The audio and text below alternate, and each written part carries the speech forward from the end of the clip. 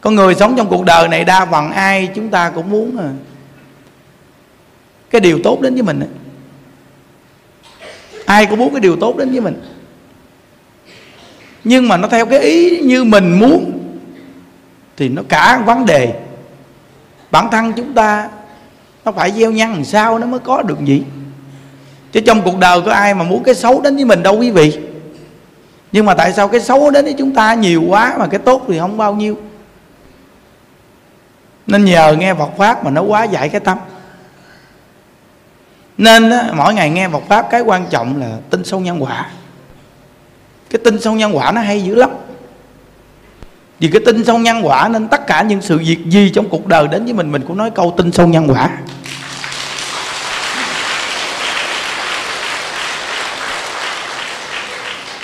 Nó không bao giờ mà cái việc gì mà nó nó mà bỗng không không có bỗng không đâu. Nó, có nhân nó mới có quả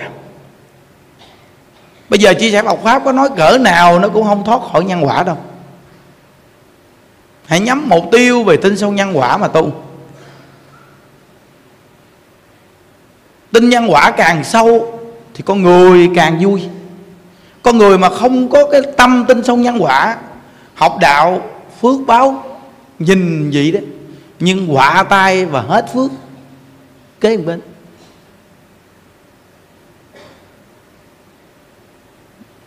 Nên những đức chia sẻ Phật pháp thường nhắc cái việc người mà đi hộ trì tam bảo hết sức cẩn thận. Cúng dường, chùa chiền đồ, đến ngôi chùa đồ lo cho tam bảo. Cúng dường tam bảo hộ trì quý thầy, quý sư cô. Hết sức là cảm thận đa phần những con người này, họ ưa có sức ảnh hưởng lớn. Cũng vì cái sức ảnh hưởng lớn của họ mà làm cho ta mất lòng tin với Phật pháp. Vì sao biết không?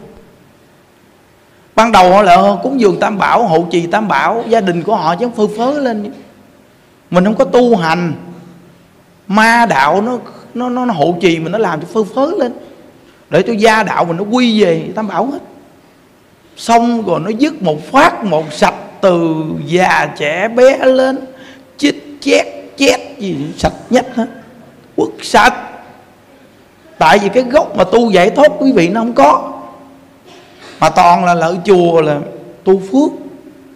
Được quý thầy quý sư cô tăng bốc lên cao độ ngồi đồ nhìn giống như bà hoàng ông nội hoàng.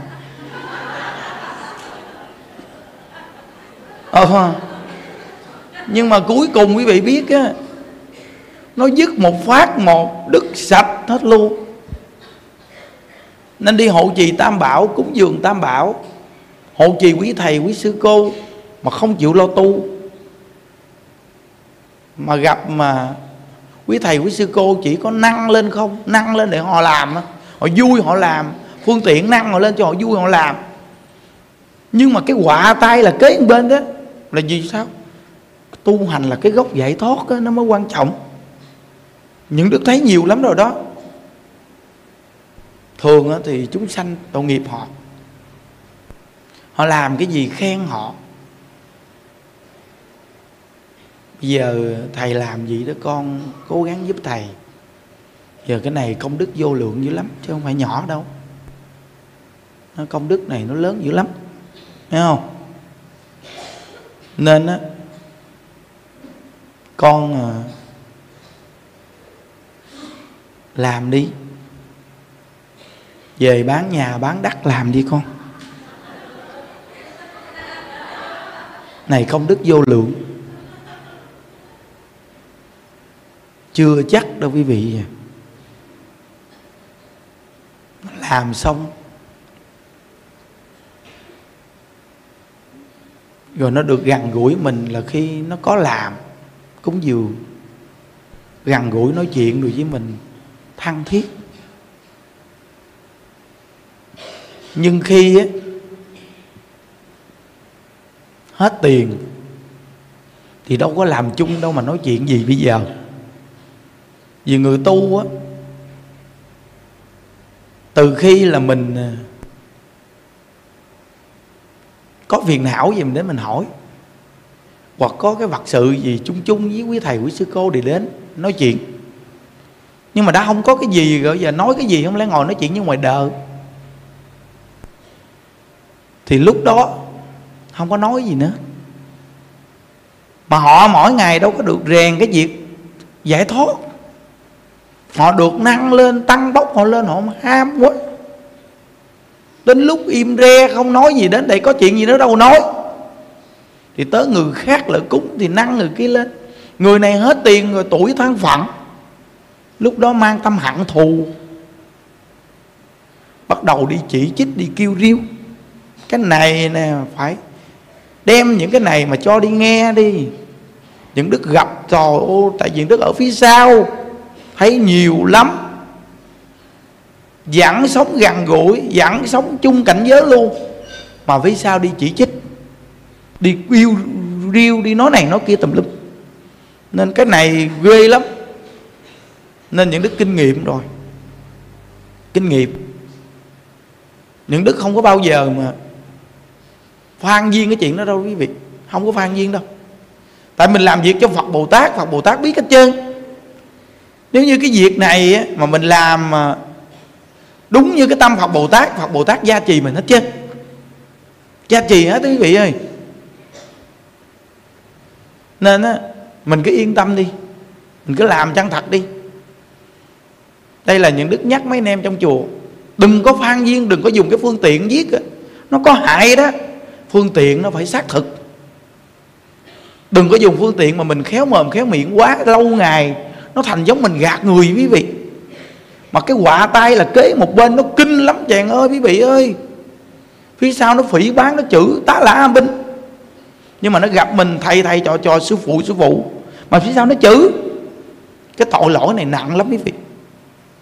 Giống như gạt người, tội còn nhẹ hơn gạt mình.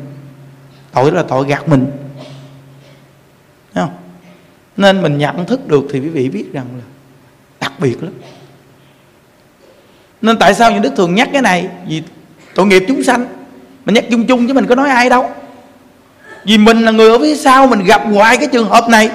Từ khi đi tu tới giờ gặp hoài. Nó có một vị này mà thôi hộ pháp đừng có nói.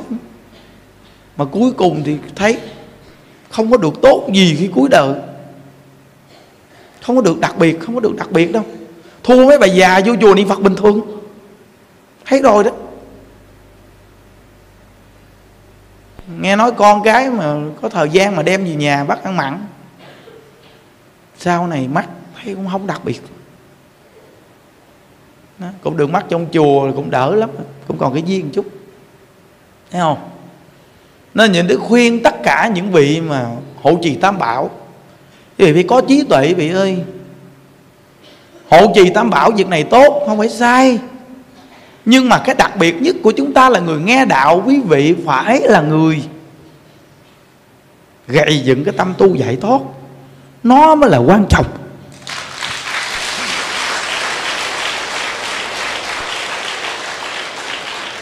Mình mà không gầy dựng cái tâm tu giải thoát, sớm muộn gì vì cũng rớt. Một trăm phần trăm sớm muộn vì cũng rớt mà dù bị có tu phước lớn cỡ nào nó cũng xài phước hữu lậu thế gian.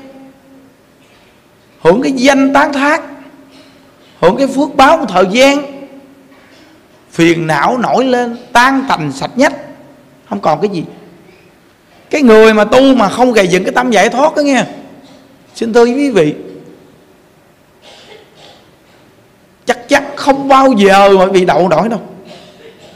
Không bao giờ đâu. Những đứa con ông huynh đệ còn trẻ ghê. Khi ông này vậy, không biết nhiều huynh đệ khác nhìn, không biết có thấy nhận nhận thức không? Khi mà phước nó hết, nghiệp nó đổ đến bệnh đau mà nó mổ đầy mình nó mổ banh chành luôn. Bệnh giống như cái, mà nổi cái một gì ngay cái đường kính xong ông cũng bác ông cũng là học bác sĩ. Ông ngại quá, ông lôi ông ra ông mổ. Ông mổ ông luôn. Mổ xong rồi ông chích thuốc cho ông. Nó nhiễm trùng quý vị ơi. Rồi xong đến khi nó nặng quá đưa lại bệnh viện. Nó mổ banh chành hết luôn. Nó mổ bộ phận của ông luôn. Nó mổ banh hết luôn quý vị. Rồi bây giờ, một bên đây thì ruột nó để một bên, lòi ra một bên đây thì đút ống nước tiểu để tiểu ra đường, cái đường bên hông. Vì cái chỗ đó bị mổ nhiều quá, nếu tiểu ra đường đó nó bị làm độc. Hồi sáng có người huynh đệ cũng ngồi đó đi theo như đức. Lợ nói giờ, chị bệnh nhiều tiền quá. Một ngày trung bình là 3 triệu thì chưa tính tiền khác.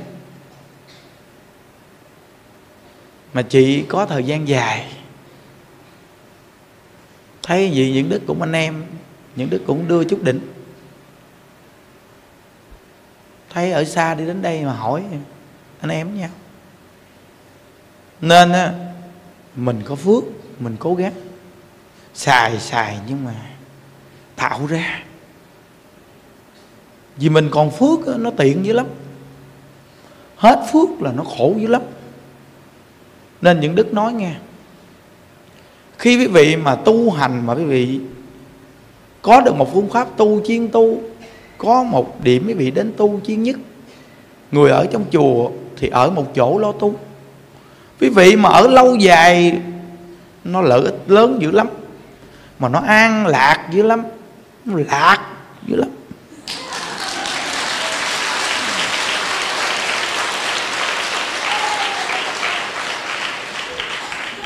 Tại mình ở nơi quý vị. Giết rồi nó lạc với cái ngũ dục lục trần nó bắt cần những chuyện hơn thua. Nó cũng không muốn cua phật tử nào hết. Thấy không? Tại vì mình lạc cái ngũ dục lục trần quý vị. Nên từ đây tới những đức chia sẻ Phật pháp, những đức cũng tập nhìn bên trái cho quen. Hồi đó tới giờ vì nó cứ nhìn bên phải không à? Tại vì người mình thường thì nó ưa mà không mà bên phải thì người, nghĩa người, người mình nó phải vậy. nên nó nhìn bên phải mà nhìn chứ quen cứ gì? Cứ gì à? Nào đó gì chứ Phật pháp nó quen bây giờ Phật tử nhiều người người ta bình luận người ta nói thầy ơi, mong chủ nhật thầy lên thầy nhìn rộng một chút đi. Thầy cứ nhìn có một bên hoài. Có những bên mà chớ thầy thấy thầy nhìn qua một chút xíu. Mình nói từ hôm nay mình cũng phải nhìn bên trái không? Mình nhìn bên trái. Chứ giờ nó nhìn bên phải, nó quen tặc từ xưa tới giờ, thấy không?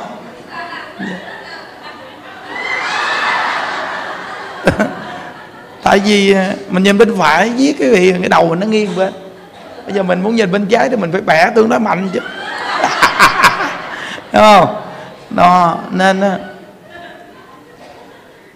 sống trong cuộc đời này, nó muôn biến dạng hóa quý vị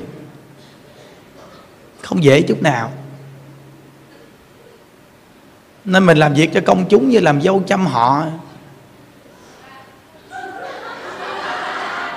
Nó không đụng chỗ này thì cũng cọ chỗ kia. À, tại vì nó vậy đó quý vị ơi. Làm sao tránh khỏi quý vị? Tránh khỏi. Sống làm sao mà vừa lòng người hết được đúng không? Chúng ta hãy sống tặng với lương tâm mình đi.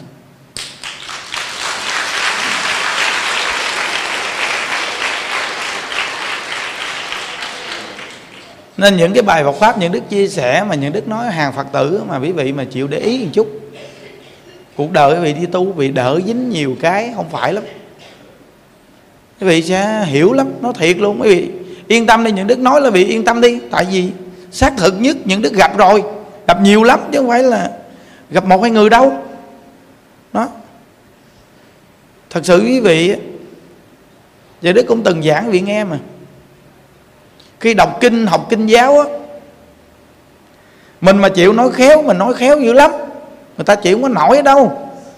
À, nói nhỏ nhẹ nói thỏ thẻ. Nói mà đến mức mà nặng một ghẻ mà không thấy đau. Nhỏ nhẹ đến mức gì đó. Nên phật tử về chùa chịu không có nổi tại vì chồng của họ ở nhà không có biết tu, đi làm cực khổ. Có khi về nói chuyện giật một giật hai. Gặp đến quý thầy nói chuyện quá ngọt. À con sao? À không có sao đâu con, có thầy con yên tâm đi nghe. Chịu sao nổi với vị thôi thôi chỉ có mình những đức là nói chuyện không xưng thầy, không kêu ai bằng con. Chứ còn nhiều vị vị ô nói cái này ngon lắm gặp rảnh rỗi ờ, trắng trẻo ờ, nhìn thấy học hành mà miệng mồm dẻo. À, con sao? À, à, không có sao đâu con có thầy. Không có thầy không có sao đâu. Ừ, thầy lo hết yên tâm. Rồi cuối cùng ngã ngựa Thấy không? Chết mồ luôn đừng nói chuyện dẫn chơi quý vị. Nên á quý vị đến với những đức á, là những đức thẳng thẳng đó nói chuyện thẳng thẳng gì đó mà ngon, không đến nổi không đến nổi ai dính mắt quá nên không có đến nổi phiền phức. Thẳng thẳng. Nên cái đô nói chuyện của những đức mà ai mà nghe được rồi nghe mấy cái đô khác nghe không có được. Còn nếu mà không vô được thì thôi. Mà vô được rồi là đố mà mà vô chỗ khác được.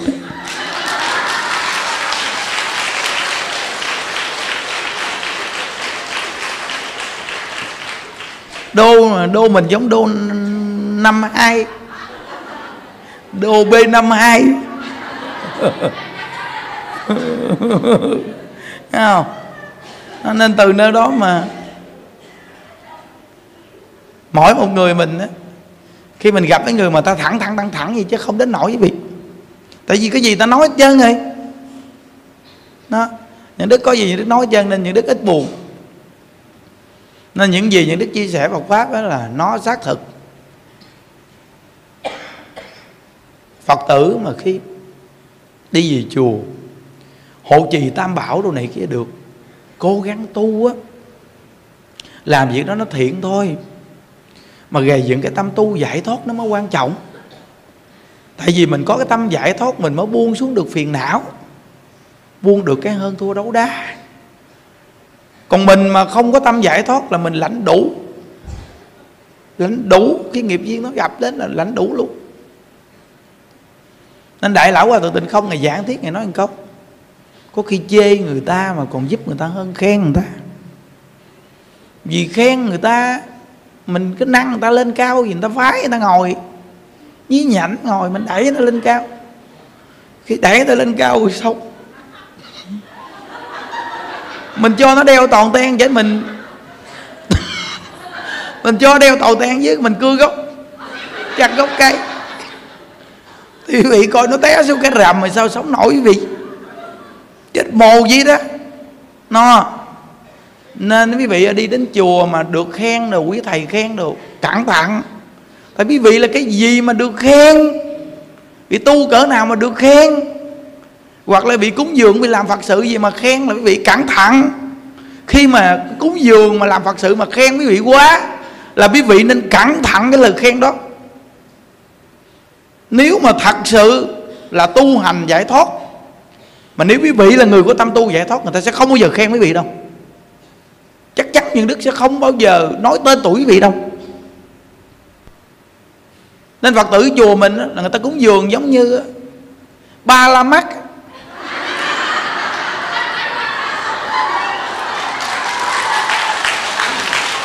ba á mắt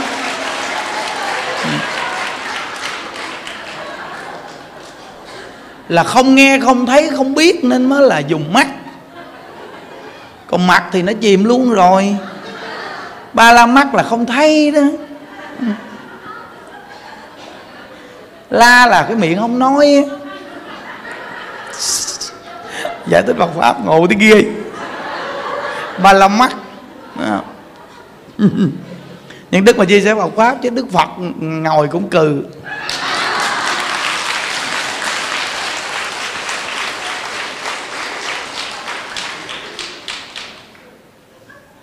Nên giết cái người đi về chùa mình, ta cúng dường, ta tâm trạng thoải mái lắm. Ta hiểu quý vị. Có bao giờ mà như đức có nói cái tên của ai cúng dường đâu? Chưa bao giờ. Vì sao? Đây là bài học kinh nghiệm những đức đã đi qua rồi nếu mình tập nói một người làm những người kia mình phải nói hết. Mà cuối cùng là nó chết cả đám. Nó cứ nó cứ canh với nhau mà nó làm. Nên chùa mình đố có phật tử nào mà nói cái chuyện mà cúng dường mà hơn thua? Đâu có đâu. Tại vì ai cũng ba la mắt cúng mà biết đâu mà mà mà hơn thua. Có nhiều khi cái vị những đức nói đây cho phật tử kinh nghiệm đấy tuy những đức nói có khi cũng đụng chạm có những người ta không thích, nhưng mà người ta không nói được gì những đức có nói ai? Nhưng mà những đức cũng tội nghiệp quý vị những đức nói thật lòng, tặng đáy lòng những đức nói cho quý vị nghe. Có những người người ta dùng cái phương tiện, người ta nói cái người này cúng dường, thật sự không có cúng. Nhưng mà ta nói vậy đó cho quý vị nóng mũi cúng. Rồi ta nói cái tên người đó quý vị phải ra mặt quý vị cúng để quý vị được nói cái tên đó đó. Nếu như quý vị là người tu mà có cái tâm này, quý vị không phải là người tu giải thoát đâu cuối cùng quý vị té trên xuống á. Rồi những đức nói, không sao đâu con, có thầy chụp. Tôi nói câu gì tự hiểu. Hiểu chưa? Tôi không nói ai mà tôi nói tôi á. Không sao đó con, yên tâm nó có thầy, có té thầy chụp cho con. Thì quý vị trên vừa gớt xuống nhà đức đưa tay gì, nhưng mà quý vị vừa gần tới nhà đức nhà đức chạy qua một bên. Ầm chết queo. Tại vì tao chụp không có được lỡ chúng tao mày đè tao chết thì sao? Hiểu chưa? Nói vì mày nặng quá ai mà chụp được mày? Thế chi mày tu mà mày nhẹ thì hắt mày cái mày bay lên. Còn mày tu bao nhiêu năm chờ mà bị, bị những lời danh lợi? Làm mày nặng nề quá tâm trí nặng nề quá làm sao thầy chụp được con con nói vậy thôi? Chứ con té kể con. Thấy chưa? Chết chắc quý vị luôn. Đừng nói chuyện đùa. Nó, những gì như đức nói là tặng đáy lòng những đức nhắc nhở quý vị đó. Trong thời cuộc này nhiều người bị dính lắm đó. Chết mồ. Bản thân mình nghĩ đến cuộc đời này mấy chục năm ngắn ngủi rồi quý vị ơi đã đến với nhau thì có duyên thì cùng làm phật sự cho tốt. Còn nếu không có tiền thì phải re khỏi làm. Chứ thật sự mỗi lần chương trình kiếm thị cũng cực, cũng chết. Sung sướng gì đâu. Nhưng mà có, không lẽ không làm thì lương tâm coi nó không không có đương, không có được. Thấy không? Giờ không có thì thôi nên kiếp nạn nhân sinh cũng dễ đầy. Thôi giờ mình làm tượng phật tặng người ta thì mình rủ làm. Còn nếu không ai cúng thì khỏi làm. Nhưng mà nếu có người cúng thì cùng làm để tặng tượng phật người ta đấy. mong nhà nhà có tượng phật thì bây giờ tượng phật là một cái điểm như là một cái gương để cho nó soi gọi cái tâm nghiệp chướng của mình tiêu trừ. Nhiều chúng sanh mà nhìn phật lễ phật tu hành, có ngôi tam bảo ở nhà thì nhiều người tu thì kiếp nạn nhân sinh quá giải bớt đi, mình nghĩ rằng có ngôi tam bảo này, có những người ở xa cũng đâu đến được. Nếu nhà người ta mà có ngôi tam bảo luôn, thì ở đâu, tại nhà cũng có ngôi tam bảo. Để mà người ta tu thì kiếp nạn nhân sinh, nó cùng nhau để mà chuyển hóa. Nghĩ vậy á.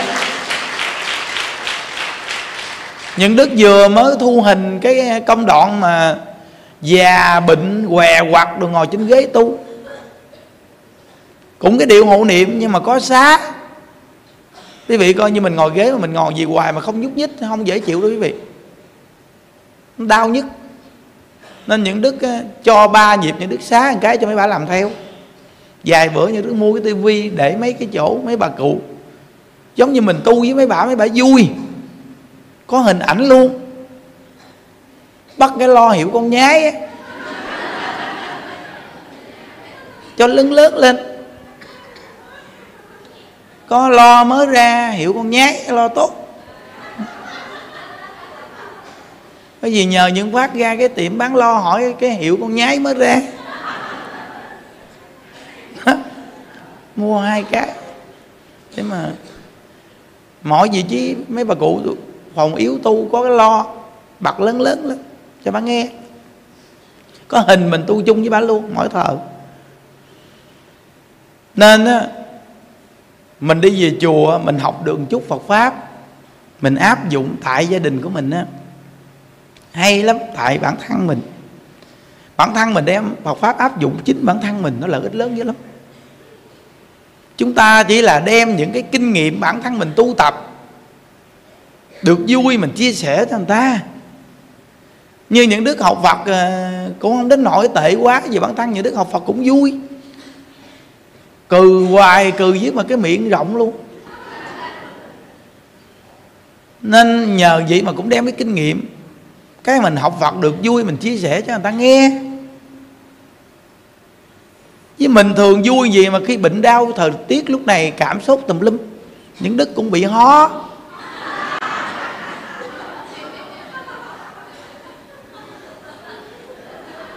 Chứ đâu phải là không ho đâu.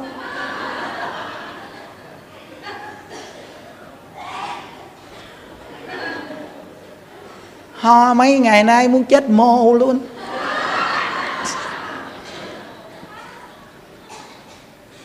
Với bây giờ nó cũng phát triển cái cách ho kiểu mới.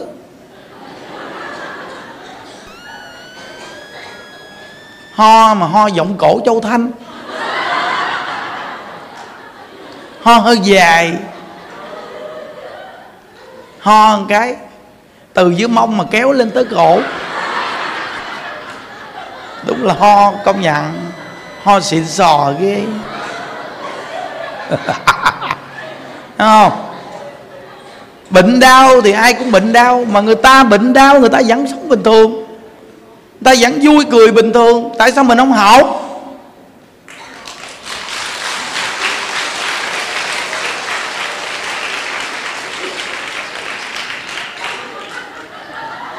Giờ tôi phải nhìn bên trái. Tập nhìn lại.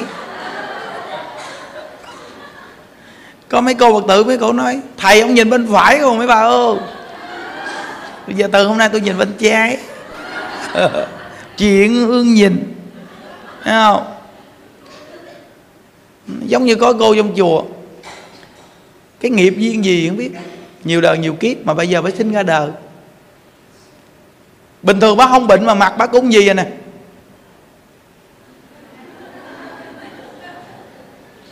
Bây giờ bác bệnh thêm cái nó gương mặt bác gì nè? Quý vị ô, nó nặng nề gì đâu. Không ai chăm sóc được hết. Nên nhà đức nói cho vị nghe. Người tu hành hay không tu hành gì bệnh đau nên dễ tính. Thì người ta lo cho còn bệnh đau mà hung dữ, hung sùng chữ bớ um sùm. Hoặc là ai hỏi tới cái gì cũng không nói, cũng không được nữa. Mình bệnh thì bệnh cái thân với cái miệng còn nói được. Phải chi mà mình bệnh cái miệng thì nó thông cảm cho. Còn mình bệnh mấy chỗ khác, cái miệng còn nói được thì người ta hỏi mình. Thầy thầy, chú chú, cô cô, anh anh, chị chị, em em. Mỗi danh từ gì đó ta hỏi mình sao rồi? Mình nói cũng còn bệnh dữ lắm. Mặt của tội nghiệp đấy không? Cơm cháo gì có ăn được không? Ai ăn được có hai muỗng, thấy cũng tội nghiệp quý vị? À, đó. người ta đưa cháo cho ăn nuốt bỏ vô miệng nuốt không vô cái bệnh cảm sốt nuốt không vô quý vị ơi nhưng mình bỏ cháo vô miệng mình.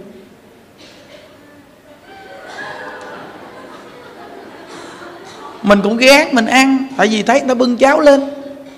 Mình không có phụ lòng người ta nên ta thích chăm sóc mình. Chứ gặp mà giờ mình bệnh đau, người ta lỡ hỏi sao rồi? Bệnh đau thì sao rồi?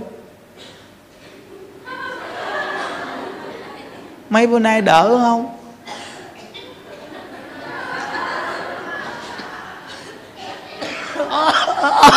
ơi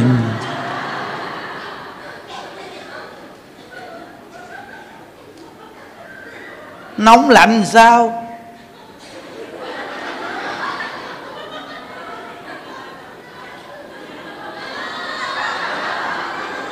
Ta tránh xa vì hết luôn. Đó là một loại người bệnh đau mà khó chăm sóc. Tại vì không nói gì sao biết chăm sóc. Mà niệm phật cũng không niệm luôn phải chi không nói bằng cái miệng, a di đà phật. A di đà phật. A di đà phật. A di đà phật. Nó thấy là cũng tội nghiệp. Con này không niệm phật mà cái mặt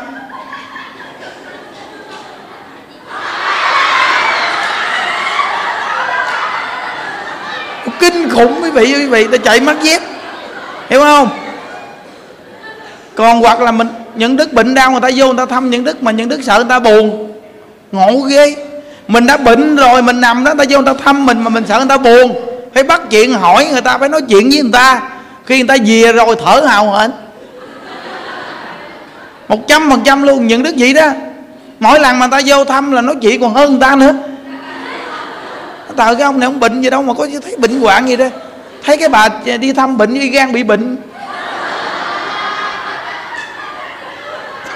Còn nhìn ông này bệnh có giống bệnh gì đâu nói chuyện còn hơn cái bà mà đi thăm bệnh. Không hỏi chuyện trên trời dưới đất không hỏi tá lạ bệnh. Quý vị thấy không? Nó, nó mau hết bệnh hoặc là bệnh mà người ta cũng bình thường. Nên thường ngày mình tích tụ cái nguồn năng lượng vui quá mình vì người ta quá. Khi mình bệnh đau mà mình cũng vì người ta nữa. Khi người ta bưng đồ ăn bưng cháo những đức là những đức nhiệt tình lắm quý vị ơi. Mà những đức bệnh là tội nghiệp lắm. Người ta đưa cái gì những đức cũng uống hết trơn á. Tại vì những đức thấy người ta đưa mà không uống thì kỳ. Uống xong rồi tiêu chảy muốn chết luôn. Ừ. Rồi khi uống vô xong rồi bị sốt ruột đau bao tử. Tại vì người ta đưa cái người ta người ta, người ta đưa người ta cầm ta kêu là uống đi thấy người ta đưa tội nghiệp quá, cái mặt nó đưa tội nghiệp, cái mặt nó làm nè, uống đi thầy. Uống đi. Mình nói ừ uống. Mình uống vô nó đắng rồi, mà chịu không nổi, vì mà mình thấy người ta đưa. Người ta hỏi, có đắng quá không thầy? Mình nói dạ không. Nói không thì thầy uống thêm miếng nữa đi. Ừ uống. Đấy thầy nhâm uống được nữa không? Im gu cái này không có thầy thầy uống đi, miếng đi thầy. Dạ uống cái công của con sắc cực lắm. Thôi, còn có miếng thầy uống luôn đi ừ uống. Uống xong nguyên ca nằm làm gì nè? Ngắt ngay. Xong chút vô nhà vệ sinh, ói muốn chết mộ chồng. Uống không có vô mà thấy người ta tội nghiệp, người ta uống xong người ta đi về. Vô, ói muốn chết còn có lần bị bị đau bao tử mà cái bà đó bà, bà, bà, bà, bà, bà làm cái nước gì chua lè. Bà đưa cho. Rồi cuối cùng sợ không uống sợ bà buồn. Uống vô xong. Sốt ruột đau bao tử hai bữa ỉ chảy một bữa.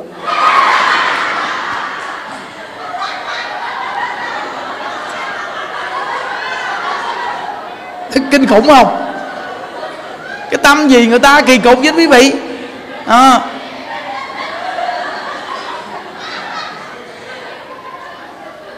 nên cái bệnh này chắc có ngày chắc cũng dễ chết lắm. Tại vì người ta nấu gì người ta đưa thì không uống ngại, kỳ. Sợ người ta buồn nên uống, có ngày. Uống bậy bạ, lộn thuốc coi chừng thành bd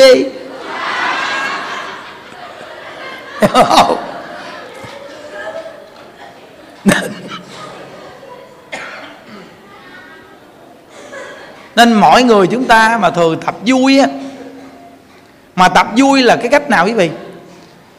Là nó thông tâm. Khi con người mà nó thông tâm nó mới vui. Cái tâm mình á,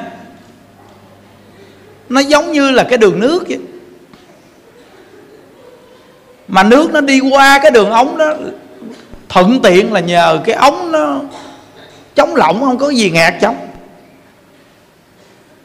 nên mình muốn nước mà nó qua nhanh thì mình phải thông cái ống đó cho nó nó nó, nó sạch hết. Là nước nó chảy qua dù dù. Nên con người mình mà thường vui là do cái tâm mình nó thông được rồi. Hiểu không? Sống với bao nhiêu con người gì mà không buồn giận ai cũng là cái điều hạnh phúc lắm rồi đó quý vị.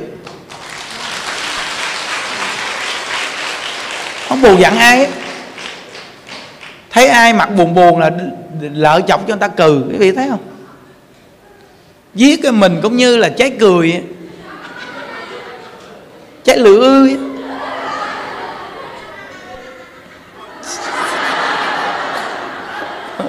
hiểu không? Cái kiểu mà đi ngang gặp người ta một cái mà người ta mặc buồn buồn mà đi ngang mà làm nè.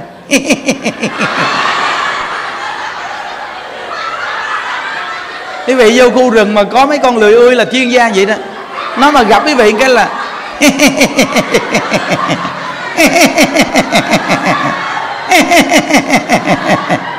làm bị bị cư bị, bị cư theo luôn á. Nghe không? Tại vì sao? Vì một nụ cười bằng 10 tháng thuốc bổ. Nghe không? Ai không cười là cuộc đời sẽ lỗ. Lỗ nặng luôn đó quý vị ơi thật sự quý vị thí dụ như mình ngồi nghe pháp hay là mình ngồi mình coi cái gì, thật sự những đức tin chắc một trăm phần trăm. Mỗi người quý vị, ai cũng thích ngồi được phía trước hết quý vị. Không ai dạy gì thì thích ngồi phía sau.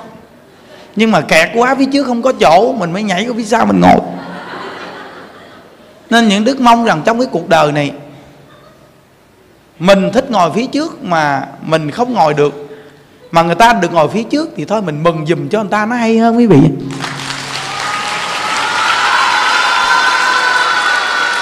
Nên có tâm vậy đi quý vị. Giống như có một cái anh này tính ra một năm về trước anh gặp như đức anh hỏi, anh nói, thầy ơi, thầy, cuộc đời của con rất là khổ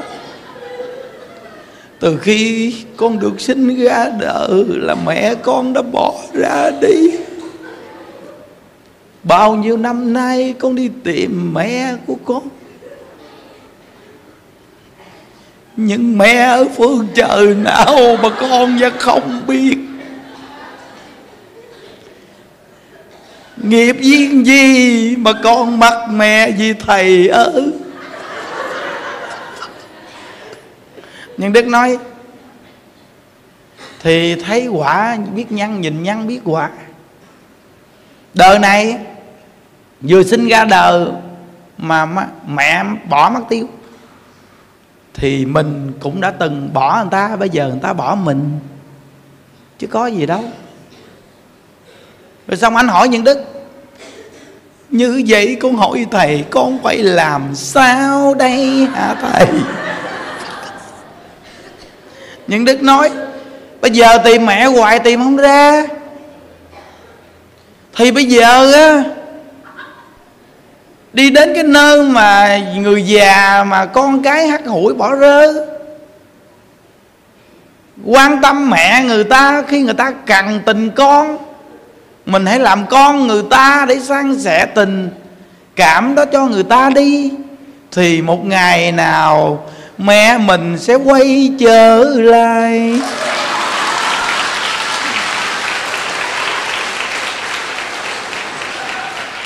Tìm bằng cách đó nó còn hay hơn là quý vị đi tìm hoài nữa.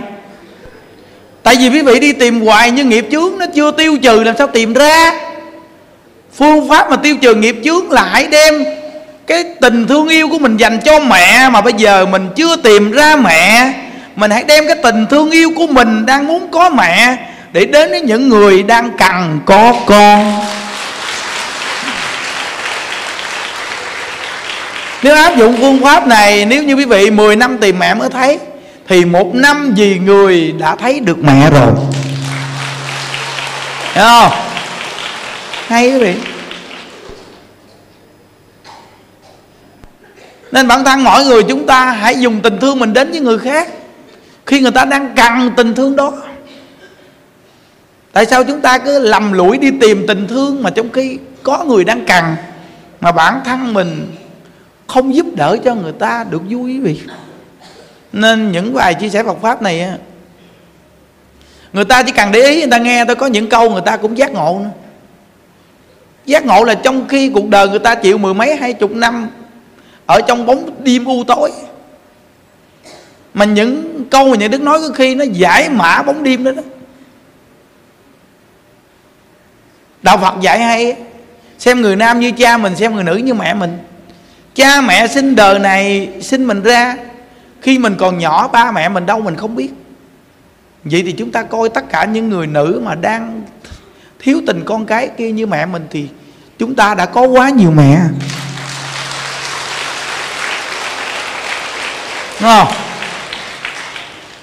Nhưng bây giờ hai vợ chồng sống với nhau năm, bảy năm, có nhiều người đàn ông to khỏe, mạnh mẽ. Người phụ nữ cũng nhìn đẹp đẽ, tương đối. Nếu đẻ cũng không không ít. Nhưng mà lạ thay sống với nhau hoài mà không có một một con. Không có đứa con nào chứ á. Mà vợ chồng đẹp mà không có con. Đi dùng mọi cách tốn tiền đi cấy tùm lum mà cũng không có con luôn. Còn hai vợ chồng cái nhà kế bên nghèo sơ nghèo sát nhà toàn là rét mà nó đẻ từ sáng tới tối nó đẻ suốt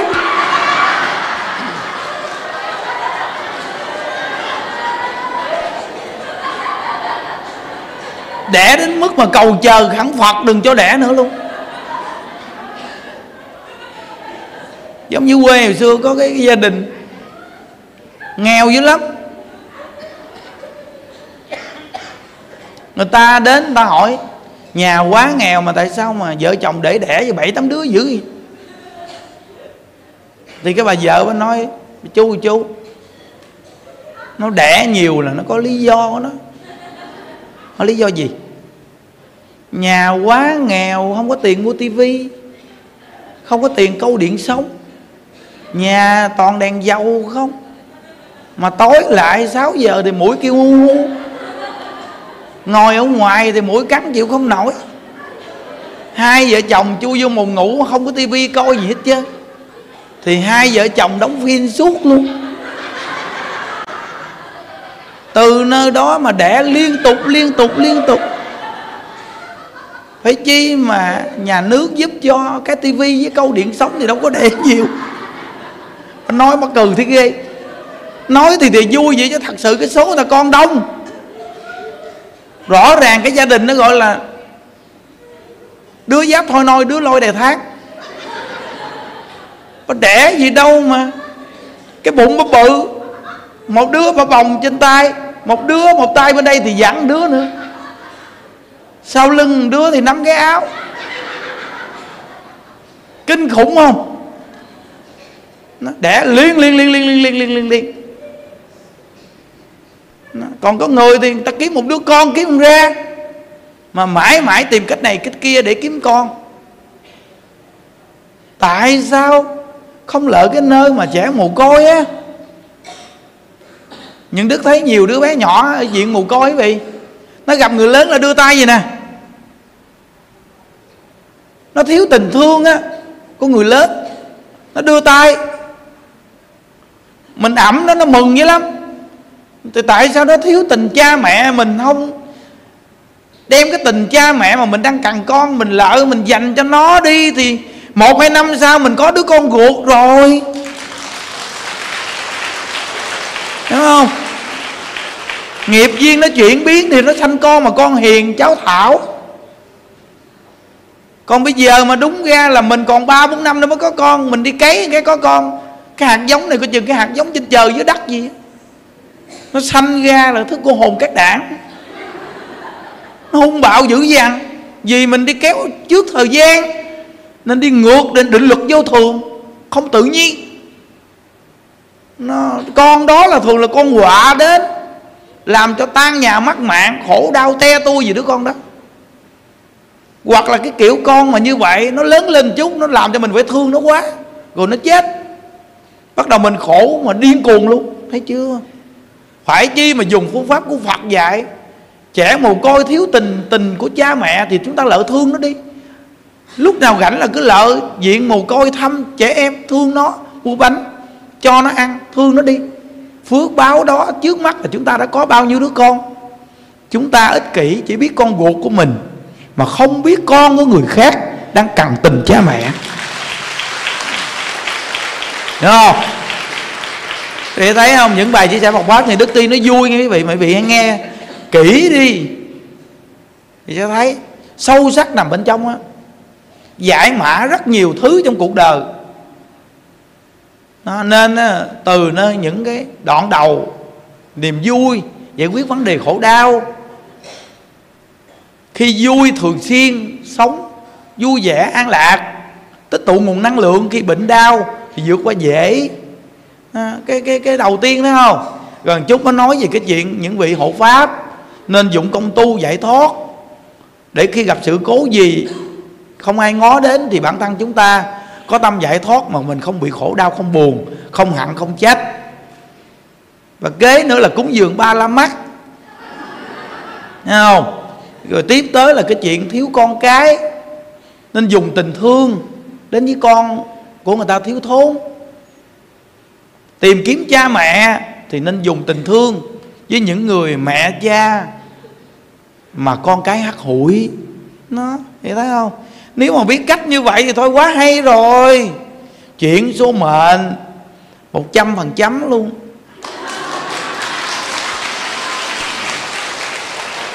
Không? Đó. Nên quý vị nghe gì rồi tâm trạng bị thoải mái, an lạc lắm bây giờ quý vị coi những đứa có đứa con nào đâu những đứa cũng cừ quá trời vui tối ngày. À, nheo nhóc hết chứ. Nó không thấy, thấy không? Chỉ cần à, mở rộng tâm ra thôi. Bởi vì cái câu không? Mở rộng tâm ra lòng thanh thản an vui tự tại đời thông giống.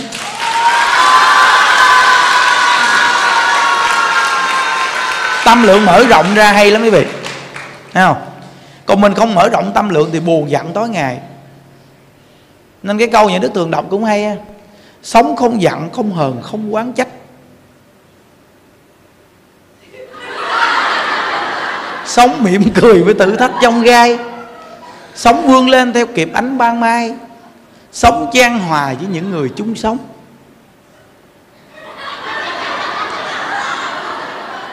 Sống là động nhưng lòng không bất động. Sống là thương nhưng lòng chẳng vắng vương sống yên vui, danh lợi, mãi xem thường. Tâm bất biến, giữa dòng đời vạn biến.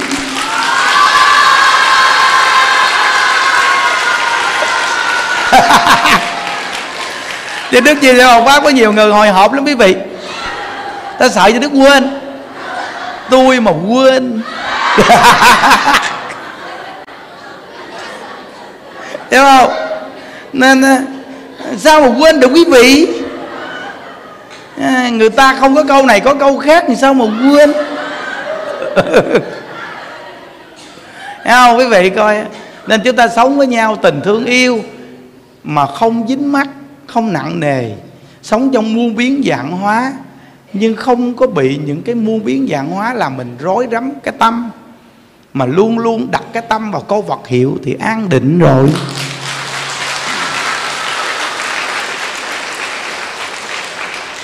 Như giờ những đức sống với đại chúng trong chùa này cũng tình thương yêu quá trời quý vị thấy không? Mỗi tầng lớp tình thương yêu với phật tử cũng tình thương yêu quá, đặc biệt luôn. Nhưng nếu đặt tình thương yêu vào một người nào cá nhân thì nó không có tình thương yêu, mở rộng. Nên có câu là tôi có tình yêu rất đậm nồng, yêu đời yêu lặng cả non sông. Tình yêu chan chứa trong vàng vụ, không chỉ yêu riêng khách ma hồng. Thấy chưa? Nếu khách ma hồng muốn được yêu Thì trong tâm trí hãy say chiều. Hướng về phục vụ cho nhân loại Sẽ gặp tình tôi trong khói yêu. À, Đó. Nên chúng ta yêu thương nhau Mà nếu mà hướng về cái tâm giống như nhau để phục vụ nhân loại vậy. Thì chúng ta luôn luôn có cái tình yêu đó. Nghe không? ta đã đa mang một mối tình. Cái này mới nguy hiểm nè. Cái câu nãy nó không có gì mà câu này nó bị đa mang quý vị. Cuối cùng nó dính một mối tình. Thấy chưa? Ghê thiệt. Ta đã đa mang một mối tình. Nghe hết hồn đúng không? Dường như thầy hại với sông minh tình yêu mà chẳng yêu ai cả. Yêu khắp muôn loài lăng chung sức.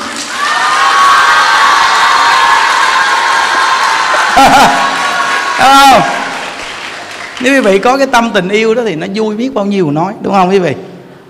Nó nên ờ, bởi vì mình nhìn có một bên ngoài nó cũng bị nghiêng.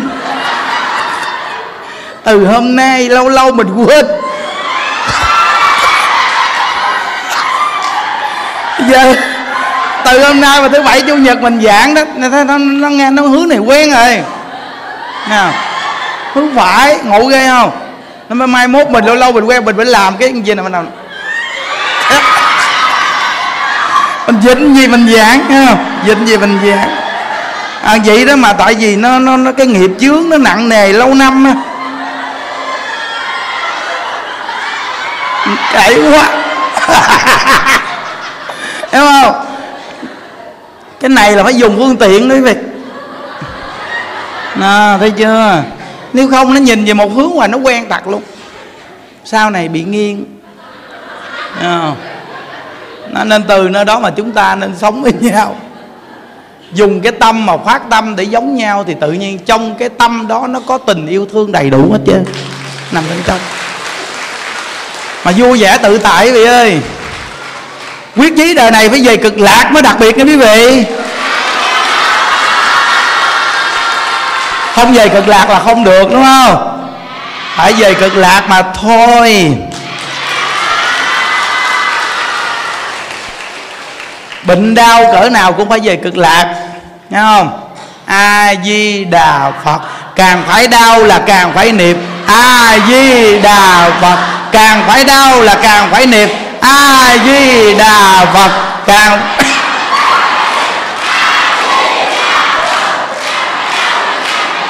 a di đà phật? Càng phải đau là càng phải niệm. Càng phải đau là càng phải niệm. Càng phải đau là càng phải niệm. Càng phải đau là càng phải niệm. Giảng sanh giảng sớm. Đời này phải về cực lạc quý vị ơi vậy chúng ta chưa về cực lạc, nhưng chúng ta sống ở cõi này, chúng ta luôn luôn có sự an lạc, quý vị à. Chúc quý vị vui vẻ nhé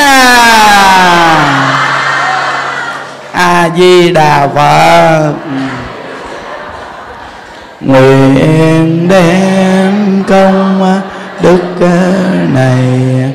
Hướng về không tất cả đệ tử và chúng sanh, đồng sanh về tịnh độ